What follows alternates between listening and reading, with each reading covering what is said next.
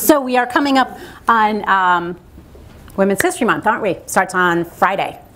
Uh, so what better time to talk about um, women's history? And the, the, this presentation today is really a kind of a broad brush of sort of how did we get from long skirts and you know kind of staying in the background as women um, to you know getting right out there in the front, short skirts, and getting the vote. How did how did that happen, and what were the major milestones along the way? So that's what we're going to talk about today. I just want you to notice, you know, I'm, I'm votes for women. I, you know, I, you know, it's, it's hard to get these pins nowadays, but I, I managed to get one uh, because I believe in votes for women. So in 1920s, um, it, it, represented an exciting new time for women with new freedoms, new opportunities. Uh, that had been greatly expanded from anything that women had enjoyed before. Certainly something that their grandmothers and possibly even their mothers could never have imagined. In the 1920s, conservative opinion declared loudly that women had changed, had become something completely different from what they had been before. Women were at the vortex of a fiery revolution, part of the new flaming youth. They bobbed their hair, they shortened their skirts, they stuck flasks in their garters, um, and they danced until all hours of the morning. Shocking. In general, they thumb their noses at the dull, conventional worlds of their mothers and grandmothers. These are easy generalizations passed down to us. Everybody knows about the you know, flappers of the 1920s, but like all such sweeping characterizations, they're only part of the story. Women uh, did not, it's an over, oversimplified view. Women did not suddenly change in the 1920s. Um, uh, they did not start to make themselves over because of the rumble seat and the purported uses of the rumble seat. Um, nor was it even because of um, winning the right to vote. In fact, women had been changing for decades.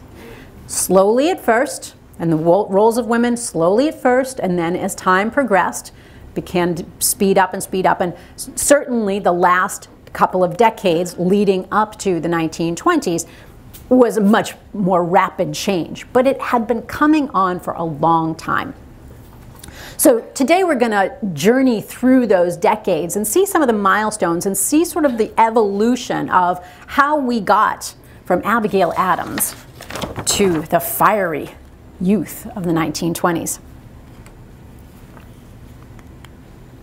In 1776, Abigail Adams is known to have written to her husband John, who was uh, with the Continental Congress uh, tasked with writing the, the Constitution and new code of laws. And she wrote to him and she said, In the new code of laws, which I assume it will be necessary for you to uh, write down to govern our new country, I would encourage you to remember the ladies and be more generous and favorable than to them than your ancestors. Do not put such unlimited power in the hands of the husbands. Remember, all men would be tyrants if they could. John wrote back, As to your extraordinary code of laws, I cannot but laugh. But he did go on to admit, depend upon it, we know better than to repeal our masculine systems because he admitted, at least to Abigail, that in fact women already had a lot of power. It just wasn't codified. Rights for women were exceedingly limited. Up until the 1848 uh, Married Women's Property Act, up until that point, a woman did not control even her own assets, even if they had been assets prior to her marriage. The moment that she married, control of herself and her person, any children that she had by a previous marriage, um, all assets, everything passed to her husband to do with as he saw fit. Some states before 1848 made some small changes to that. Um, but by and large, that was the, the, the world in which women lived in. Of course, there are always exceptions.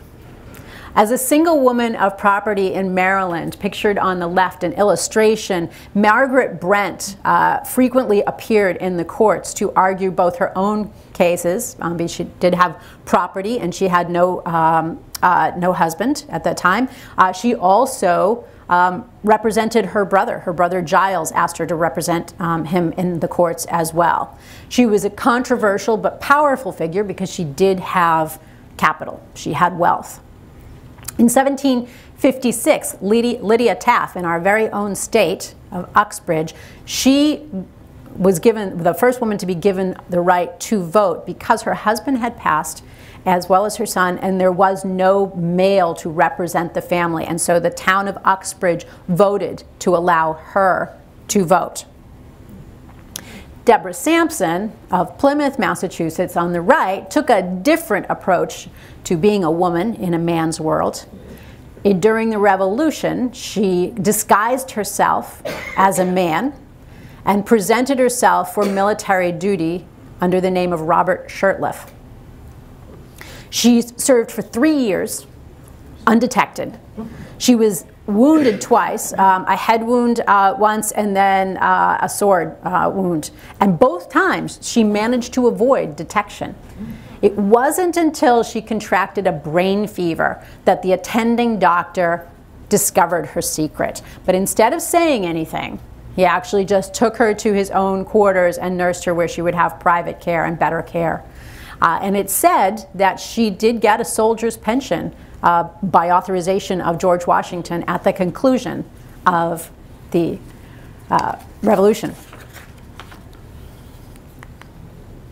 Education for women took place in their homes on a very or on a very limited basis in schools. And I say on a very limited basis because, for example, Susan B. Anthony um, was denied certain subjects in the school she attended because of her gender.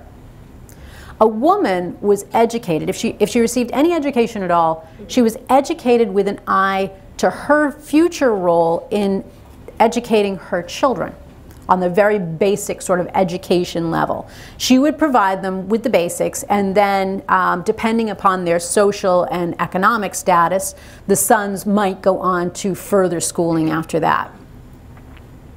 It would later be written that the history of mankind is a history of repeated injuries and usurpations on the part of man toward woman, having in direct object the establishment of an absolute tyranny over her. Limited education had historically been a large part of this tyranny. If you weren't educated, you couldn't get ahead, you couldn't get a job, you couldn't work, you couldn't fend for yourself. However, in 1821, the Troy Female Seminary, the first endowed school for women, was founded in New York by Emma Willard. Emma Willard had, was already an established teacher and educational administrator uh, when she wrote a pamphlet called A Plan for Improving Female Education, which outlined the benefits to all of society in educating women.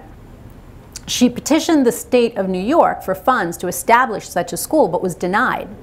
But the city of Troy raised the funds and agreed to open the school if Emma would come to run that school, which she did. She, her education, the education system that she put forth, offered traditionally male subjects, zoology and botany and sociology and um, chemistry, natural philosophy and such. Emma knew, though, that many of her students would go on to establish homes, so she also included home management and home economics and such uh, cl classes like that. If she couldn't find a suitable book, she wrote textbooks herself. And as a matter of fact, I happen to come across in my library because I have a lot of um, things that have been passed down to me. My house, as my children will say, looks like a museum. Um, and this is one of the museum pieces. Um, this is the Abridged History of the United States within the Republic of America by Emma Willard, 1845.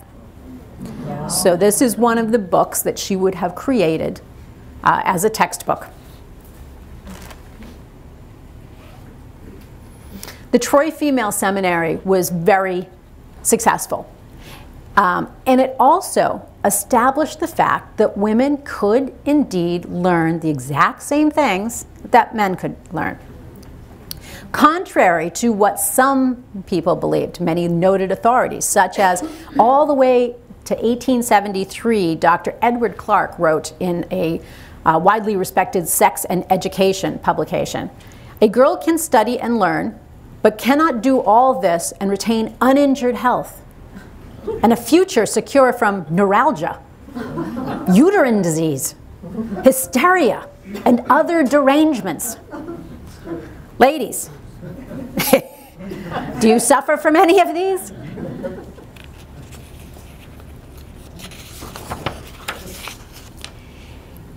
In 1833, Oberlin College became the first coeducational college in the United States. And as we all know, knowledge is power, and women were making the first steps on a powerful journey that would take them nearly a century.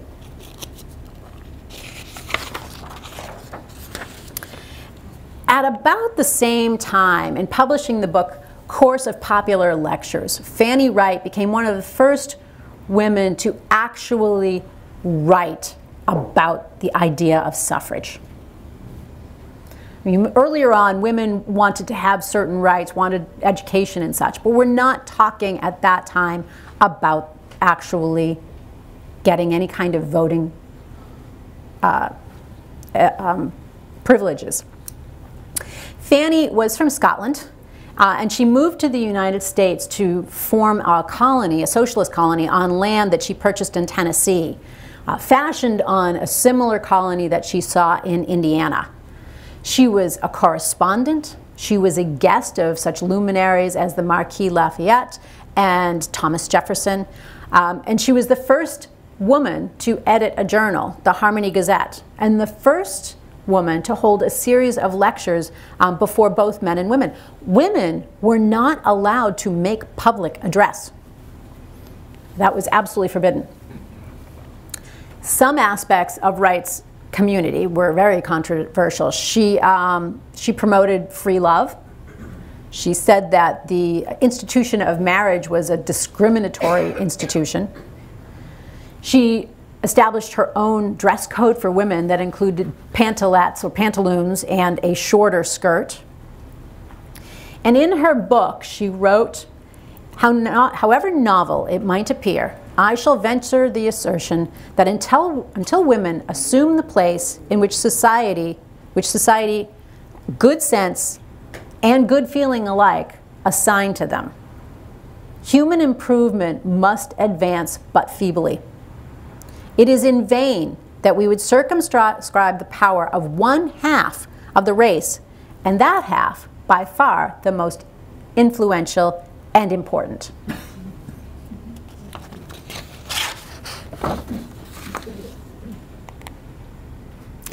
In 1840, Elizabeth Cady Stanton and Lucretia Mott met at an international slavery convention in London. They had both been sent as delegates to this convention.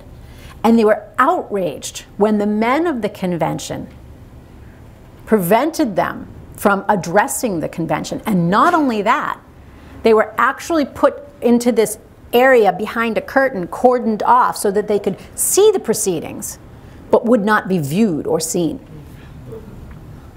This experience galvanized these two ladies into taking further action concerning, concerning women's rights.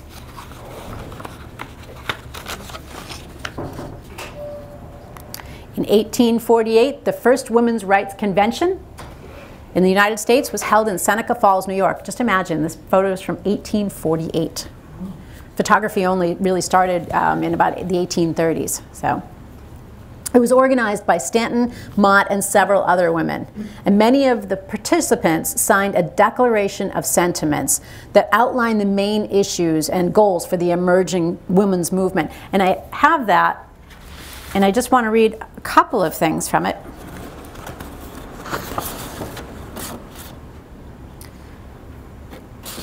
Talking about what men have um, established of the tyranny that they've established, because that's actually where this that that quote came from was the uh, tyranny. Uh, he has not ever permitted her to exercise her inalienable right to the elective franchise. He has compelled her to submit to laws in the formation of which she had no voice. He has withheld from her rights which are given to the most ignorant and degraded men, both natives and foreigners. He has taken from her all right and property, even to the wages she earns. So that was a declaration of sentiments signed by these women.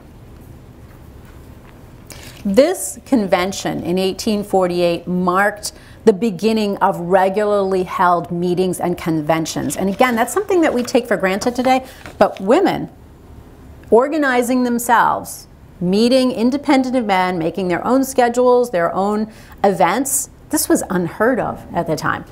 Absolutely unheard of.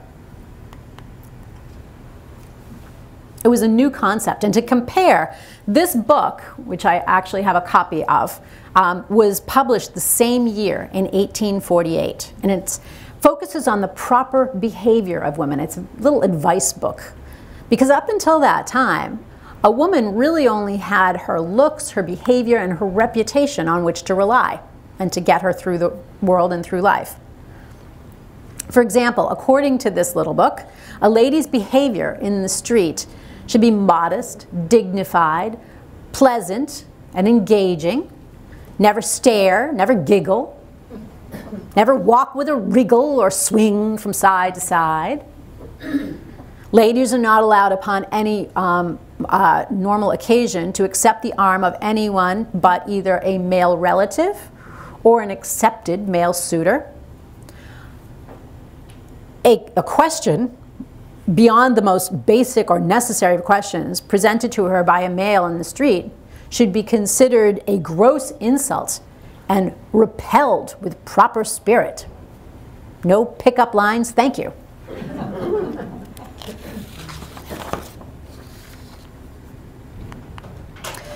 The Civil War disrupted many suffragist activities as women turned their energies to war work serving as nurses and fundraisers, spies, and even a few. Uh, as uh, Robert Shurtleff in the Revolutionary War, a few women also in, uh, engaged directly in battle by enlisting um, under the guise of being men. They also served as spies in some place, in some instances.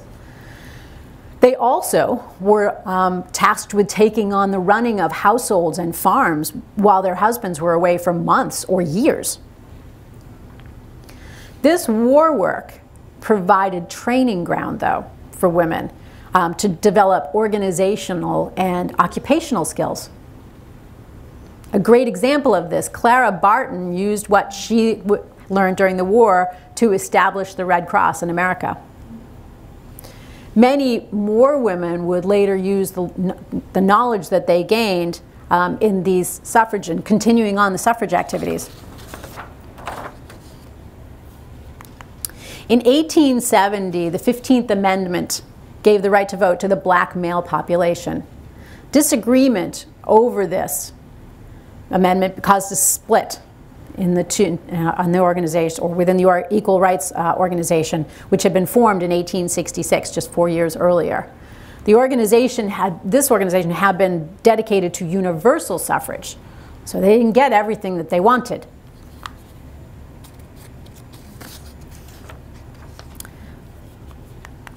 Stanton and Anthony formed the National Women's Suffrage Association.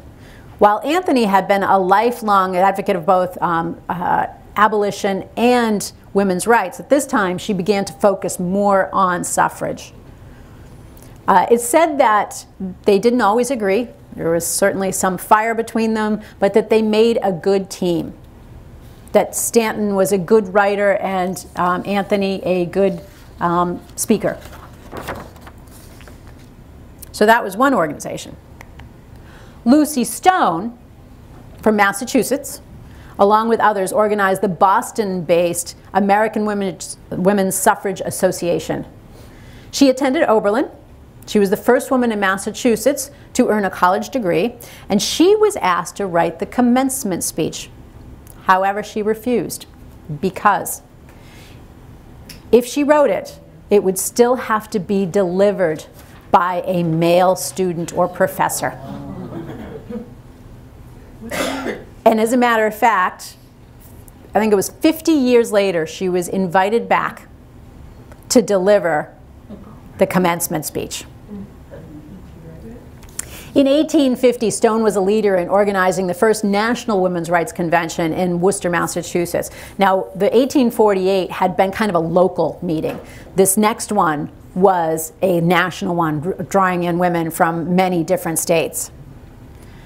She's remembered um, most for, uh, or one particular thing, she was the first woman to keep her own name after marriage. And she was, uh, that was not easy. Uh, for example, she went to um, run to be on the school board, and they wouldn't allow her to be a candidate for the school board unless she had her husband's name. So while we're talking about Massachusetts women, um, the woman on the left, Victoria Claflin Woodhull of the Claflin family, the um, Wenham Museum right up the street here. Um, that's the Claflin, uh, Claflin house uh, that's, that's associated with the museum. So this is Victoria Claflin Woodhull on the left. She was, um, she had a very colorful life. She promoted free love. Uh, she was the founder of the first women's stock brokerage. Uh, she was a spiritualist. She was pretty far out there. Um, and she ran, or ostensibly ran in 1872 for president. Um, she didn't run a full campaign, and actually, I think uh, she didn't meet the minimum age requirement. Uh, and I think by the time the actual election came along, uh, she was in jail for something else. But she did, she did kind of run. Um, the woman on the right, Belva Lockwood, did run for president in 1884 and again in 1888. Um, she, uh, she ran a very strong campaign and, and she actually got votes. Um, and I wanted to show you, but she didn't certainly get the respect. Oh, she was also the woman, first woman to be admitted to the Supreme Court bar. Uh, this, these, these were the men coming out to rally for Belva. They were called the Mother Hubbard group, and they would wear um, they would have little Belva Lockwood signs and they wore like nightgowns and bonnets to basically make fun of her for running. In 1874, the Women's Christian Temperance Union formed, and in addition to becoming a powerful voice against the evils of liquor, this organization was also an important force in the fight for suffrage. Not surprisingly, the liquor industry opposed women's suffrage because they were afraid that the moment women got the vote that they would vote liquor, uh, uh, vote liquor out of being legal. So there were all these organizations in the later part of the 1800s forming uh, and beginning to have meetings and um, marches and um, such, trying to move the women's agenda and suffrage forward. And I just want to take a moment uh, to, as part of that, a lot of them developed you know, speeches and campaign slogans and such, and also suffrage songs. And I happen to have a suffrage song here, so I thought I'd like to share it with you. I have a neighbor, one of those not very hard to find, who know it all without debate and never change their mind. I asked him what of woman's rights, he said in tones severe, My mind on that is all made up, keep woman in her sphere. I saw a man in tattered garb forth from the grog shop come. He squandered all his cash for drink and starved his wife at home. I asked him, should not woman vote? He answered with a sneer, I've taught my wife to know her place, keep woman in her sphere. I'm met an earnest, thoughtful man. Not many days ago who pondered deep all human law, the honest truth to know. I asked him what of woman's cause, the answer came sincere. Her rights are just the same as mine, let woman choose her sphere.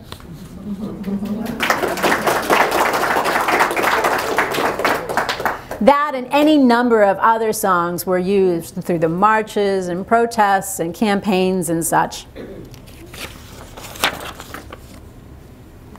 So in 1878, a woman suffrage amendment was introduced to the United States Congress, but it did not pass. It is interesting to note, though, that throughout the individual states, um, suffrage legislation took place far earlier. So let's take a look at the map. The olive states down here, um, women had no voting rights whatsoever. In the orange states, women could vote in the presidential elections. Uh, that, those are the light orange states. In the dark orange states, women could vote in the primaries only. And in the blue states, women um, had full voting rights. So you notice that the blue states are mostly out west, and that's probably for a couple of reasons. Um, because in the harsh frontier, women were, had a very important and central role in the success of settling the frontier, and also quite possibly because it would serve as a, um, an incentive for women to want to move out west um, if they could enjoy complete suffrage out there. However, despite the state by state um, uh, circumstances, suffragists felt that there was nothing short of a con constitutional amendment uh, would suffice. In 1890, the organization that had split into two um, after uh, the black men got the vote in 1870, that organization had split into two. It came back together um, under the leadership of Elizabeth Cady Stanton. But Elizabeth Cady Stanton uh, was pretty radical, and after only two years, um, she withdrew. That's an interesting point just all across the board, which is we just, we tend to think of things, well, kind of like our political parties nowadays, we tend to think of things as being very, you know, one color. Uh, but within the suffragists, there were people who uh, were much like Belva Lockwood. Belva Lockwood actually uh, in the early days, she was respected, but she became kind of shunned by some of the other suffragists because they thought she was going too far in trying to actually run for president. And they just thought it was going to open up the um, suffragist movement for, to ridicule for her to run. Now, you might think that every woman would have been in favor of getting the vote. But that wasn't true. In 1911, the National Association Opposed to Women Suffrage was organized by a group of wealthy uh, women um, and were joined by Catholic clergymen and uh, many heads of large uh, manufacturing and other large companies, uh, including the liquor industry, of course. Um, and locally, the February 6th, 1912 edition of the Salem Evening News declared, Wenham women oppose suffrage. So if any of you women are from Wenham. so here's a poster of what would happen to a woman's home should she be granted the right to vote. Socks have holes in them. You know, lamp has gone out, no more lamp oil husband looks kind of, you know, like a mess. Uh, this is what will happen if women are out voting. Um, there were a lot of reasons given for um, being against women getting the vote, and here are a few of them. No woman who may vote will attend to her domestic duties, uh, as we just saw. It will make dissension between husband and wife. And then Counter to that, men and women are so much alike that men can represent a woman's views. women will vote as her husband tells her to. Women will form a solid party and outvote men, which is probably what they were really worried about. but this is my favorite. Whoops, what happened? Some guys Women have no powers of organization.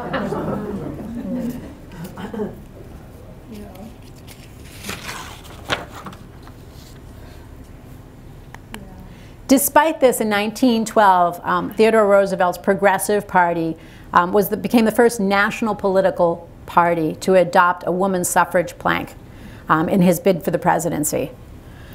Finally, the suffrage movement was making some really strong and established headway and was no longer just a fringe kind of thing. However, Woodrow Wilson became the next president and he was anti-suffrage. During the early teens, the National Women's Party organized hunger strikes and picketing.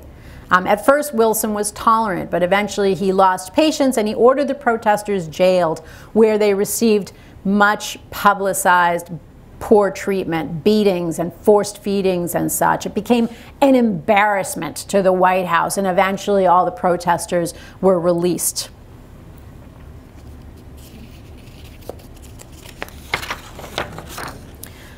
The United States entered World War I in 1917, and almost immediately the Wilson administration called on women to support the war effort.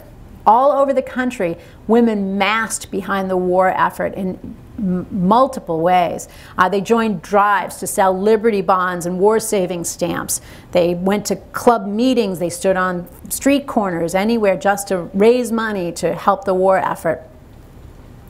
Others helped the Red Cross uh, provide medical supplies, and yet others worked at government agencies and, um, and other wartime women's associations that formed to support the war effort.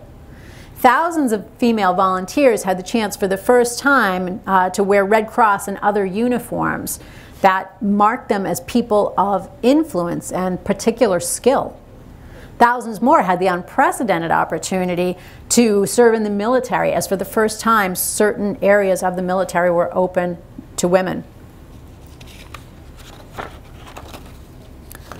During the fall of 1917, the United States Employment Service recognized that thousands of women would have to work in the war industries women came out of their jobs to uh, came out of their homes to do the jobs that had been vacated by men. And by the winter of 1917 1918 it was clear that women were going to have to take on jobs that were men's work.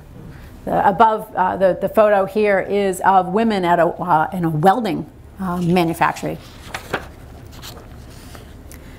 now of course in view of the suffragists the fact that women were being called upon to support the war effort in such really critical ways was just further fuel to the idea that they were equal, an equal and an, an integral part of society and deserved to be treated as such. The National American uh, Suffrage Association, uh, under the direction of Carrie Chapman Catt, formed a plan to coordinate nationwide suffrage lobbying using men's tactics of meetings and lobbying somebody who was in favor to get them to convince their constituents to vote in favor of it too. In 1918, Wilson came around to their way of thinking, and actually he encouraged um, the House and Senate to pass the amendment, saying that it was an act of right and justice to the women of the country and of the world but it continued to pass, it, it failed to pass again.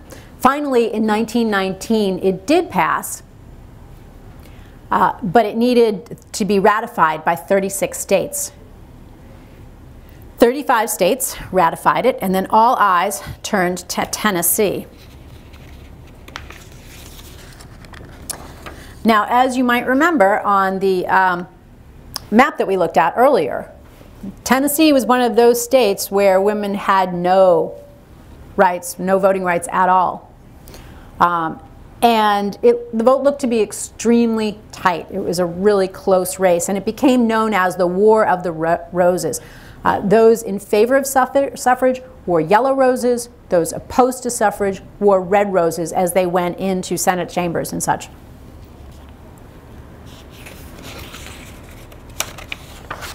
The swing vote was in question, and it was held by Harry Burn, a young representative. And when I say young, he was about 24 years old. His earlier actions and statements uh, had conflicted. It wasn't really clear that he stood on one side or the other, and it seemed likely that he would probably vote against and go along with his party. And he might have done just that if it hadn't been for a letter from his mother. Febb Burn was an independent minded widow running a farm um, in Tennessee, but she found time to follow along with all the newspaper reports of the day uh, and keep up on the, the, the news. And she was watching what was happening with this movement. And so she wrote a letter and she said she had um, heard the recent, she had seen the recent news about the uh, uncertainty of the outcome of the vote. And she finally felt compelled to write this letter to her son. And she wrote, Hurrah and vote for suffrage, and don't keep them in doubt. I noticed Chandler's speech. It was very bitter. I've been waiting to see how you stood, but have not seen anything yet. Don't forget to be a good boy and help Mrs. Catt with her rats. Is she the one that put rat in ratification? Ha! No more from Mama this time, with lots of love, Mama. And so Tennessee became the 36th state to ratify. Women had finally won the right to vote. Now, I, have gotten this question several times, so finally I've incorporated a little bit um, into it, and that is a lot of people ask me, so how does this compare to the rest of the world? And obviously, this could be a conversation unto itself. We can spend another whole hour talking about women's rights and suffrage and such throughout the world. But just a, a broad brush. Um, in the 18th century, Swedish and Polish women um, who paid taxes were allowed voting rights, although Sweden later rescinded those rights. In the 19th century, Finnish tax-paying women were granted municipal local voting rights. And um, in 1906, they were actually the first women uh, country to vote in universal suffrage. Late in the 19th century, the women in the UK were granted local voting rights, but they didn't actually win full suffrage until after us in 1928. Many countries came in ahead of the U United States Poland, Denmark, Austria, Belgium, and New Zealand and others followed us. Um, South Africa, France. Uh, South Africa was in 1930, France was in 1945, and Greece was in 1952. And even into the 21st century, um, Oman and Kuwait and others are continuing. So this is a, this is a continuing uh, saga. So now let's switch gears completely and talk about fashion and its role as an indicator of the transformation. Between 1900 and the mid 20s, the feminine ideal, feminine ideal in America underwent a complete metamorphosis. At the turn of the century, the Gibson girl defined the age. The phrase was made popular um, by the illustrations of Charles Dana Gibson. The Gibson girl was defined by long, swept up hair, uh, a narrow waist, well concealed legs, a high brow. Um, and the Gibson girl was not capable of any immodest thought or deed. She was pleasant and intelligent and well spoken, but would certainly not have gotten involved in politics or this like. She was aloof and kind of matronly. By the 1920s, the Gibson girl had vanished. And in her place was the flapper. Uh, so named perhaps because she was kind of like a fledgling that wasn't quite ready to flap out of the nest yet. Uh, quite unlike the Gibson girl, the flapper cut off her hair, concealed her forehead, de emphasized her curves, and showed as much leg as possible. She also wore plenty of makeup, which up until that point in time had really only been employed by loose women. During the first half of the 20s, skirt length became the boiling point of the social revolution. Right after um, World War II, uh, or since 1915, skirts had been kind of drifting up and drifting up. Um, after World War I, um, skirts had gone to six to seven inches up.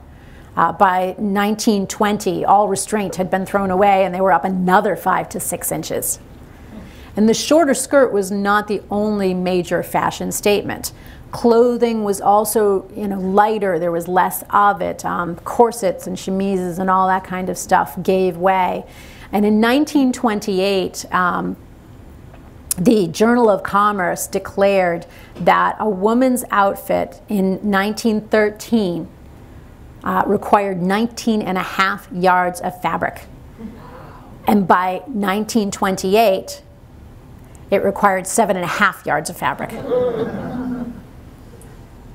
The 1920s also uh, witnessed an explosion of beauty shops, going from 5,000 in 1920 to 40,000 um, in 1930. Sales of cosmetics at that same period jumped 400%. In 1921, the first Miss America pageant was, uh, was staged in Atlantic City. While women's expanding political opportunities contributed to the sense of the new woman, changes in work were also equally important. World War I brought short-term uh, opportunities for a variety of jobs as women filled in for those men that were absent away and uh, fighting in the war. And in addition, new business technologies such as stenography and typing and such um, opened up all kinds of new white collar jobs. The women flocked to these white collar jobs because they had more status and they were better paying than the blue collar jobs that they had been filling in for, such as you know in factories, stitching and such. More than 88,000 people, women, were employed as telephone operators, and by 1917, um, women accounted for 99% of all switchboard operators.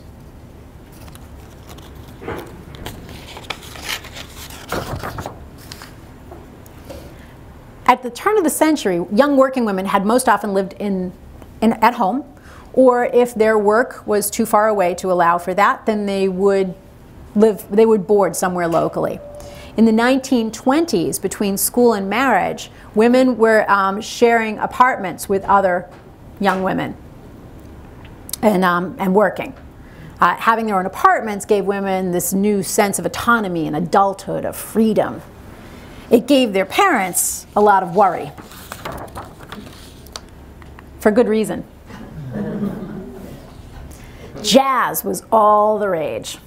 And the newspaper in the New York American uh, reported its results on the national character, declaring, moral disaster is coming to hundreds of young women, American girls, through the pathological, nerve irritating, sex exciting music of jazz musicians. in just two years, in Chicago alone, according to the Illinois Vigilance Association, they could track the downfall of a thousand girls directly to the pernicious influence of jazz. A social worker reported on the unwholesome excitement encountered even in small town dances. Boy and girl couples left in a state of dangerous disturbance. Bathtub gin, jumpy jazz music, suggestive couples dancing, and short skirts all led to a new era of relaxed sexual norms. Rudolph Valentino made millions of women swoon. Branded Sheik condoms, pictured here, held all the promise of romantic Valentino-esque liaisons.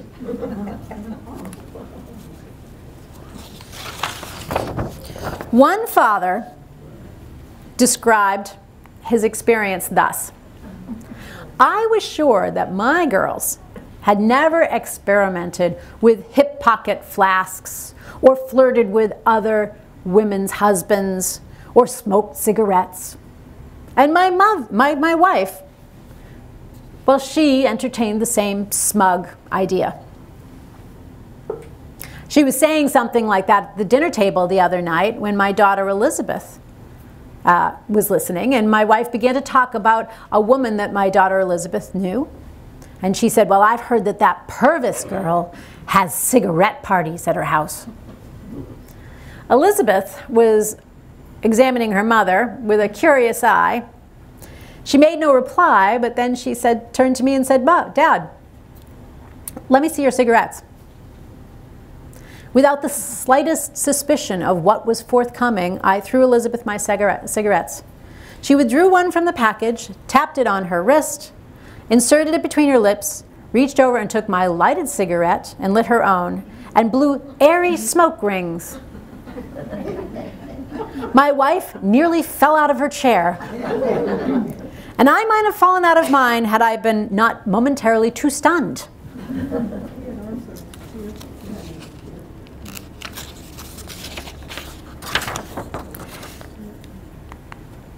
Young working women often modeled their behavior and their dreams on the movies.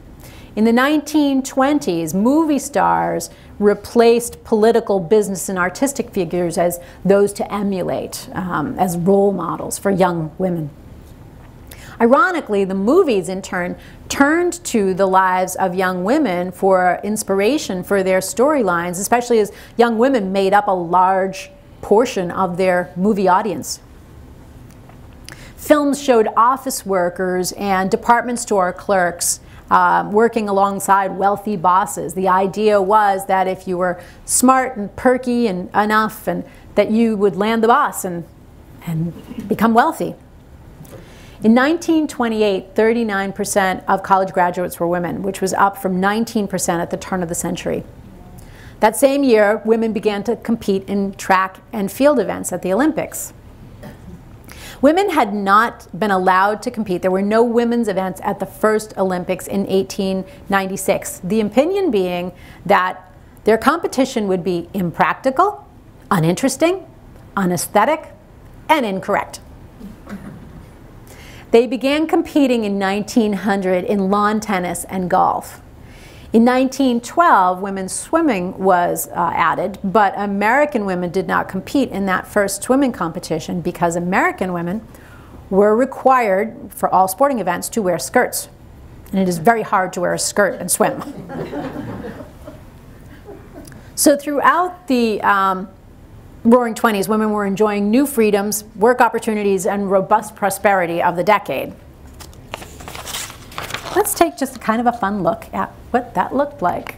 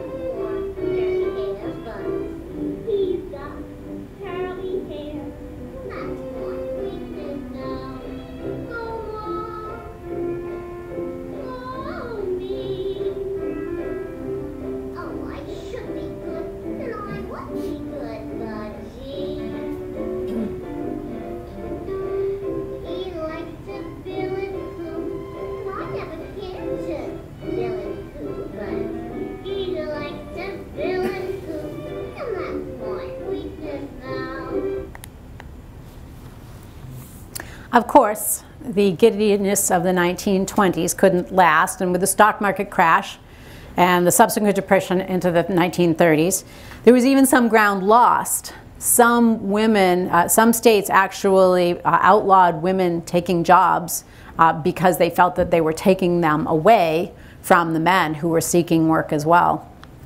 At the same time, though, there were there was gain there were gains in other areas. Um, Frances Perkins uh, became the first uh, cabinet member as the Secretary of Labor. Um, Jane Addams became the first woman to win a Nobel Peace Prize, uh, and Eleanor Roosevelt became uh, the first woman to be a UN delegate, and also she just changed the, the she changed the face of what first ladies would be like going forward. She also held a press conference um, to which only women reporters were invited. Then came World War II, and many more women signed up to go overseas, just as they had during World War I. Um, and they were once again proving that they were an integral part of the fabric of our nation. And so we come back around to the foreshadowing words of Abigail Adams when she wrote, If particular care and attention is not paid to the ladies, we are determined to foment a rebellion and will not hold ourselves uh, bound by any laws in which we have no voice or representation. How right she was.